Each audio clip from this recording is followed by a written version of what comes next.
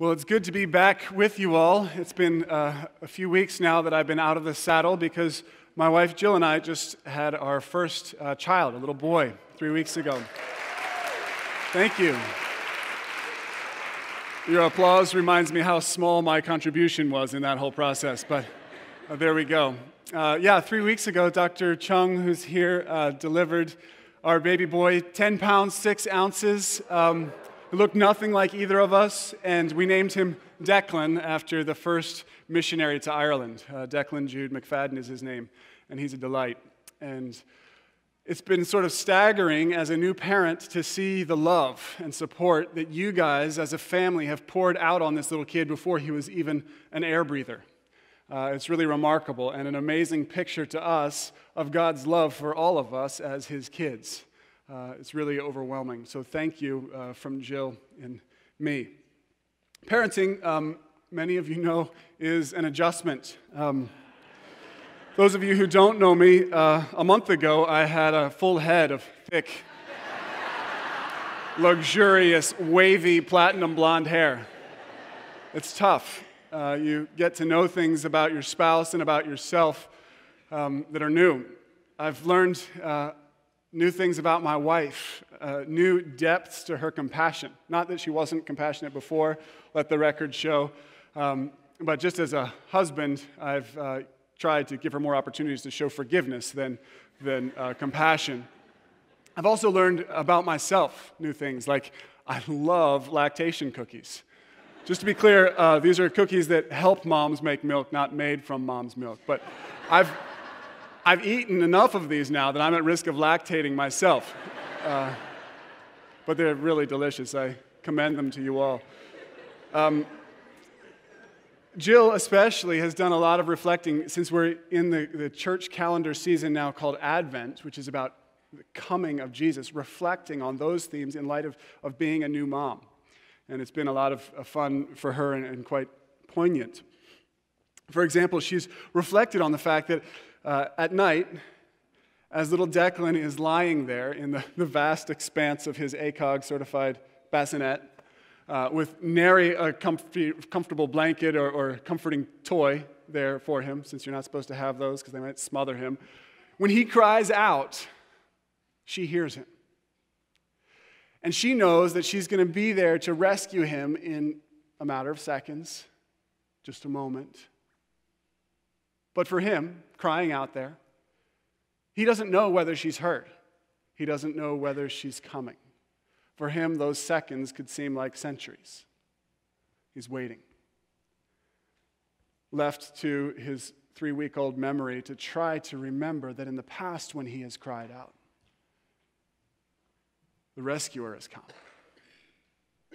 And apart from that, just to cry out, which he does. I'll let you know. Um, so that's sort of what we do in Advent. We're crying out for a rescuer. We're placing ourselves in the sandals of historical Israel as they waited for the Messiah to arrive. We're looking backwards to the arrival of Jesus, God's Savior, 2,000 years ago, but we're also longing and looking forward to and waiting for Him to come again. This morning, uh, we're going to follow the pattern that we've been using for the past couple weeks of digging into an Old Testament passage which sort of prefigures uh, the arrival of Jesus. So this morning, we're going to be in Exodus chapter 14. Um, it's on page 63 in the red Bibles under the seat in front of you. It's kind of fun to be in a page 63. I mean, that's early, it's good stuff. Um, so you can dig that out, pull it up on your phone if you like. We're going to be looking at verses 1 through 14 and then 26 through 29, and I'll fill in some of the gaps. This story, though, many of you will know is the, the story of the Exodus, when God rescued his people miraculously, impossibly, across the Red Sea, this expanse of water.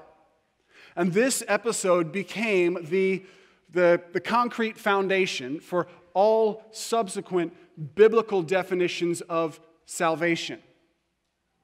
In fact, spoiler alert, verse 13 in our passage today says, This is the, this is the salvation of the Lord. Salvation, and I think the Red Bible say deliverance of the Lord. The Hebrew word there, many of you will know, is Yeshua.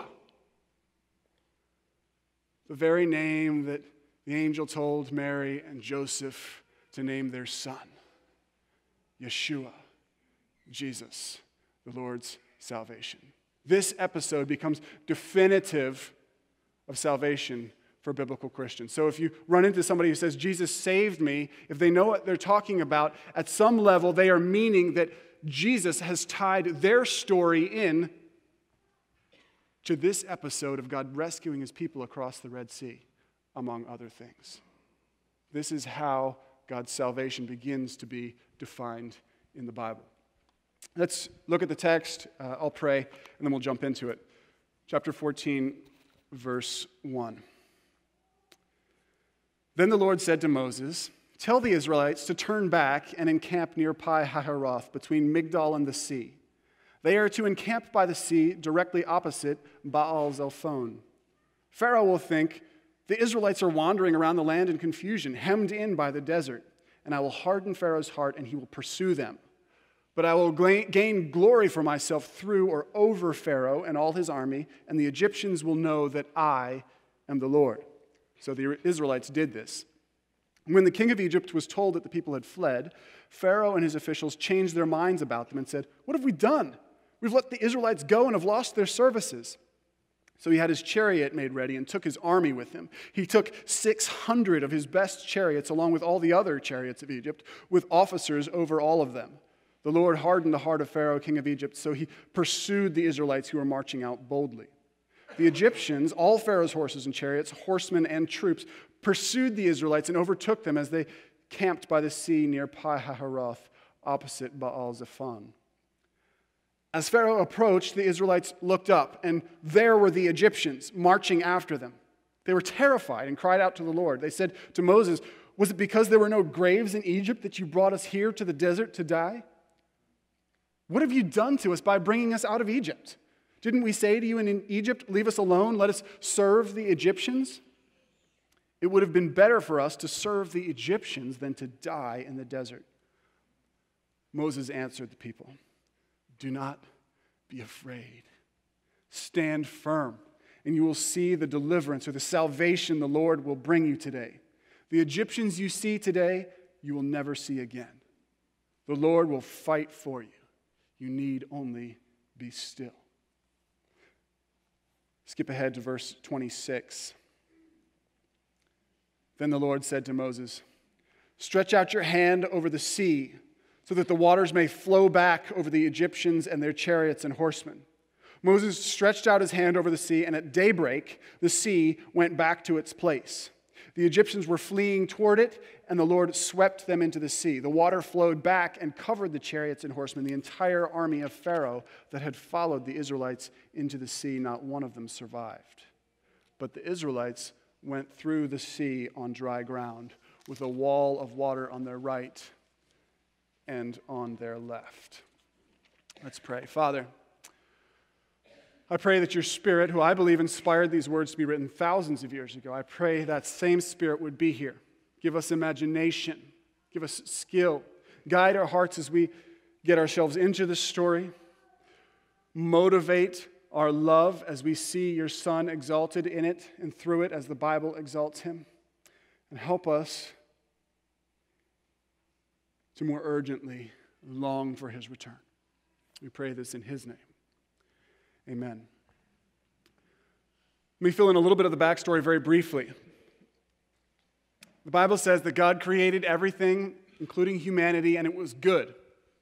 Somewhere along the way, humans started to rebel against God. They started to do things selfishly, to do things their own way rather than God's way. And so sin, this kind of anti God impulse, entered the world and began to affect, at least in part, everything human relationships, economies, cultures, ecologies, everything became, at least at some level, dysfunctional as a result of this rebellion against God that was in every human heart.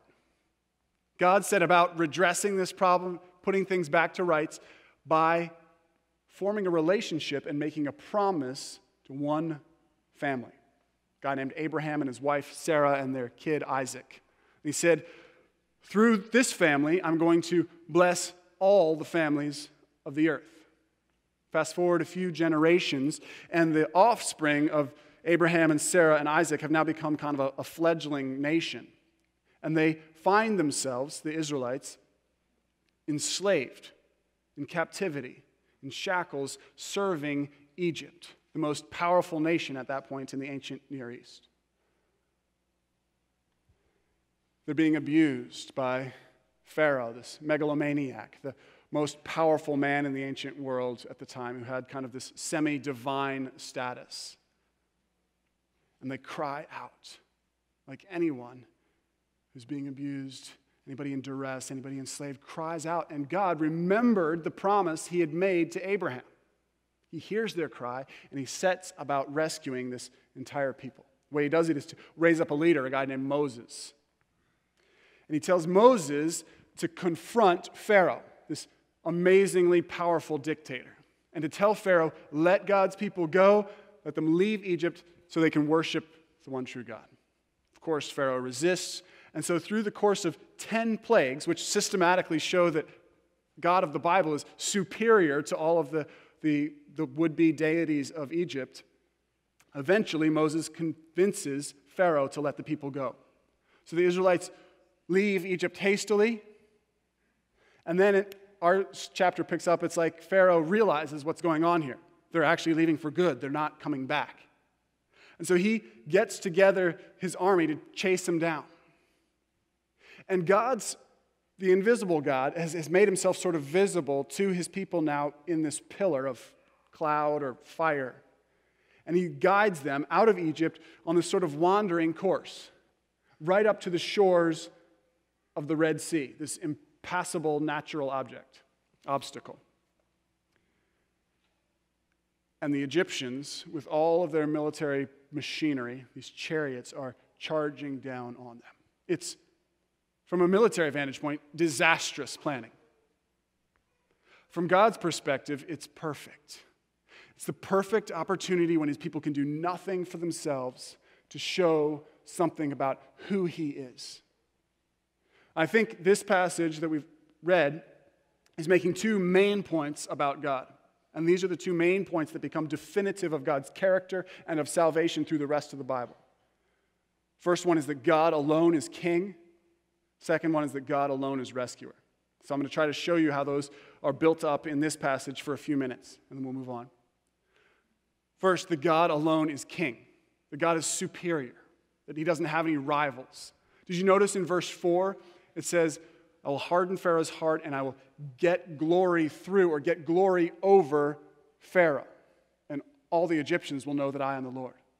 That's what that's about. It's about God showing that he is superior to this megalomaniac who called himself a God, who had demanded the fealty and probably worship of God's people as well as of the Egyptians, who had drowned a generation of baby boys among God's people in the Nile River. God says, I'm going to show myself to be king over even Pharaoh, the most powerful dictator. Ask yourself this how do you take down a bully? Or how do you show yourself to be superior to someone? You beat them at their own game, right? If I beat Legolas at Wii tennis, it doesn't really count. I've got to beat him at archery, right? In order, you know, okay, a few of you got that. Moving on. Pharaoh enforces his will in the world through his army, most powerful army of the ancient world, and particularly the spearhead of it is these chariots, like the tanks, the, the nuclear arsenal of the day. That's why 14 times in chapters 14 and 15, these chariots come up again and again and again. They're how he scares the world, how he enforces his will. How is God going to show himself to be superior to Pharaoh? He's going to show that Pharaoh's chariots are helpless against him. You see that in verse 25. What does God do? He jams up the wheels of these chariots. He disables the Egyptian war machine that there was their pride and joy, the strength that Pharaoh brandished in the face of any contenders. And God says, not a problem. Not a problem. God's showing himself to be king over Pharaoh. But more than that, he shows himself to be king over even the gods of Egypt, particularly the sun god Ra, who was the one who kind of stood behind, the one whose power stood behind Pharaoh. I think that's what's going on with this cloud of pillar and of, or sorry, this, this pillar of, of cloud and of light. Have you wondered about that? The fact that at nighttime, this pillar of fire is leading the Israelites so that they can treat nighttime like it's daytime, and the Egyptians who worship the sun god are left there in the dark. Whose God is more powerful? Whose God is supreme? I think that's exactly what's going on when verse 24 says that it's during the last watch of the night, the first watch of the morning. It's as dawn is breaking, right when the Egyptians would be thinking, perfect, Ra is here for us. We're going to win this thing. This is a slam dunk. Just when Ra should be showing up, that's the moment the text says twice when the Egyptians realize that God, the one true God, is fighting on behalf of the Israelites and they have lost. The God of the Bible is superior to the gods of Egypt and the gods who stand behind dictators like Pharaoh. It's also showing that God is king even over cosmological and natural forces. I think one of the things that this passage is doing is, is replaying like a highlight reel from Genesis 1 and 2 when God created everything. Remember how Genesis 1 starts? You've got water a watery expanse, the deep. In the ancient Near East, water and seas in particular were, were uh, associated with chaos and evil. And in Genesis 1, the Spirit, also wind in Hebrew, hovers over those waters, and then God divides the waters, and land, dry land, comes forth in between. That's exactly what's going on here, right? He's replaying this highlight reel. Like, I'm God over Pharaoh, I'm God over the gods of Egypt, but look, I'm also God over nature. And so the Israelites are with their backs against this Red Sea. Moses stretches out his hand, and the wind, or Spirit of God from the east, blows over these chaotic waters, and they separate. And dry land comes forth in the middle, and God's people are able to walk through to life and rescue. And then, just so that we're clear that God's command holds sway over the forces of nature in both directions. When the Egyptians get close, he lifts his hand and the waters resume their level, engulfing the chariots and the Pharaoh and the army who just a few chapters earlier had tried to drown a generation of boys, baby Israelite boys, in the Nile River. God alone is king. God alone is the true king. It's interesting that there's this ancient Egyptian inscription which says basically, the one who recognizes the king will be honored, and the one who is traitorous, treacherous to the king will have his corpse thrown into the sea. Isn't it funny that the one who had set himself up as a peer to the one true God, the one who had created a wrecked genocide against a generation of Hebrew boys, finds himself floating in the sea as God has exalted the one true King.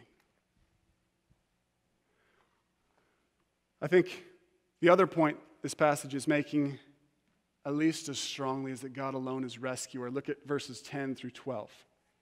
I think that's what's going on here. God has led his people up to the edge of this impassable natural obstacle, the Red Sea.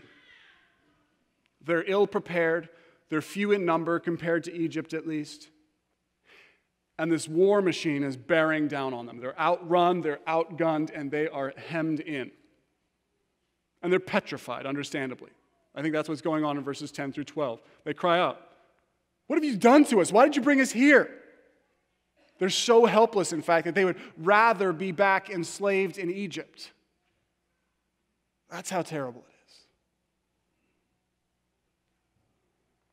There's nothing that they are able to contribute to their rescue, nothing they're able to do for themselves at this moment except be needy. And Moses says to them in verse 13, Don't be afraid. Watch Watch the salvation the Lord is going to work for you. Watch him fight your enemies. Watch him defeat your captors. Those Egyptians who have mistreated you, who are hounding you down right now, you will never see them again. All you have to do is be quiet. It's this incredible picture of God alone as rescuer, able to do for these people what they could never do for themselves. I think sometimes when we think of this passage, we envision the Hebrews as these good little God worshippers who had been worshiping him faithfully for generations. That's not the case at all. There's no evidence they've been worshiping God. Presumably, they've been worshiping the gods of Egypt. God didn't have a relationship with the people as a whole at this point. He had made a promise to a family. It's only after this rescue, a few chapters later, at Mount Sinai, when God establishes a real relationship with the entire people in this contract called a covenant. He says, Look, trust me because I'm trustworthy. Remember the Exodus? Worship me because see my authority. Obey me because look at my grace. God owed these people nothing. And when they could do nothing for themselves, he stepped in as the only rescuer. I think it's because of these two central attributes of who God is that He alone is King and that He alone is rescuer, that this story, this episode, becomes the defining, the paradigmatic rescue of God through the rest of the Old Testament. So, whenever the Israelites find themselves in desperate situations, in need of rescue, this is what they look back to. Whenever they find themselves needing to remember what God is like, they think back to this. Importantly, though, something happens along the way. Through the voice of the prophets, the people begin to understand more and more that their sin is part of the problem. Their own rebellion against God is part of the problem. It shouldn't be any surprise to us that in just a generation, in Joshua chapter 3 and 4, as the people have now crossed the desert and on the brink of entering a new land that is filled with giants and defended by by castles and fortresses, it shouldn't be any surprise to us that at that point they think back to the Exodus and they remember.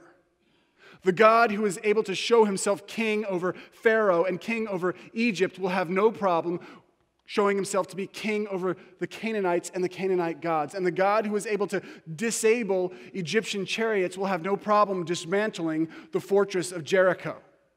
And the God who was able to lead us through the middle of the Red Sea on dry ground is going to have no trouble leading us across the Jordan River on dry ground. He alone is king. He's the only rescuer. Shouldn't surprise us then that a few generations later on, as the people are encountering the Philistines in 1 Samuel chapter 4 and 5, that both the Israelites and the Philistines remember this Exodus episode and realize that God is king, that he fights on behalf of his people. And the Philistine idol Dagon falls on his face before the presence of God in the Ark of the Covenant. God rescues his people. It shouldn't surprise us then that hundreds of years later, when the people of God once again find themselves as refugees, occupied by another superpower, now this time Babylon, that they think back to this episode. When there's nothing they can do for themselves, when they've been stripped of their land and their privileges and their temple and everything, the prophet Isaiah reminds them. Chapter 43 the naval war machine of Babylon is no more a challenge for the true God than were the chariots of Egypt. Chapter 51, Isaiah pleads with God on behalf of the people, says, Return. Come rescue your people like you did back at the Exodus, when you made a way through the deep, when you opened up in the depths of the sea a way for your redeemed to pass through. You're the rescuer. And at every step along the way, when the people needed rescue, they remembered the episode of the Exodus. And through the voice of the prophets, they began to realize more and more that the main enemy from whose grasp they needed rescuing was their own sin, their own rebellion against God, which at the end of the day made them no different from the Egyptians or the Philistines or the Babylonians. What enemy is more invincible than the one in the mirror? What disease is more intractable than one that affects the body and the will? I Began to realize that they needed rescuing from their own sins as well as from external forces. It shouldn't be any surprise to us then that several hundred years after Isaiah, when the people again find themselves occupied by a foreign superpower, and this time called Rome. That in Luke chapter 2, the people are beginning to realize that their sin is part of the problem. The corruption of the leadership, the rejection of God's authority, and now Rome is here occupying them. And in Luke chapter 2, it reminds us that Caesar Augustus, the new dictator, is exerting his power and his power abuse over God's people by issuing a census. And in that same chapter, we shouldn't be surprised that an angel shows up to a bunch of humble shepherds on a hillside and says to them the words that Moses spoke next to the Red Sea Don't be afraid. Do not be afraid. The Lord's salvation is here. Except this time, instead of the presence of the Lord being made visible in a pillar of fire and of cloud, the presence of the Lord was made visible in a squirming, probably crying baby boy in a watering trough a few miles away. A baby named Yeshua, Jesus, the Lord's salvation. Shouldn't be surprising to us then that seven chapters later in Luke chapter 9, after this Yeshua, this Advent child, has grown to be a man, has started gathering around him people who obey him and believe in him and are following him. It shouldn't surprise us that he goes to this mountain. And his inner circle, Peter, James, and John, are with him. Do you remember that bizarre scene? They see somehow Jesus talking to Moses and Elijah, who are long dead and the whole scene gets lit up. And Jesus is transfigured by heaven's glory. Do you remember what they're talking about? Luke chapter 9, verse 31. Jesus is talking with Moses and Elijah about the departure. The word there is exodus, the exodus that he's about to accomplish in Jerusalem when Jesus and Moses get together and they start talking about Jesus accomplishing the Exodus, when they talk about Yeshua achieving the Lord's Exodus in Jerusalem, when they're talking about Jesus' death and resurrection on behalf of his people, his inner circle see him for the first time as he really is. In all heaven's glory, Jesus alone is God and Jesus alone is King. By his perfect life, he begins to unwind this impulse towards rebellion that's in every human heart. By his death, he breaks the shackles of sin and makes peace with God possible. When he accomplishes the Exodus by rising to new life, he's proclaiming himself king over death and over the forces of evil and providing a way for life a way through for eternal life for his people. See, every other time throughout the Old Testament, God's people needed rescuing.